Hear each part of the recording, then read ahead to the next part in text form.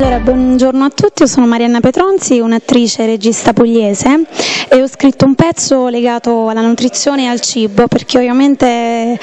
riguarda un po' tutti questo, questo problema, tra virgolette, però ho voluto fare un po' la, la parte contraria, nel senso che la gente che ci è riuscita a superare questo problema, perché fondamentalmente da una parte è anche un po' un problema per alcuni,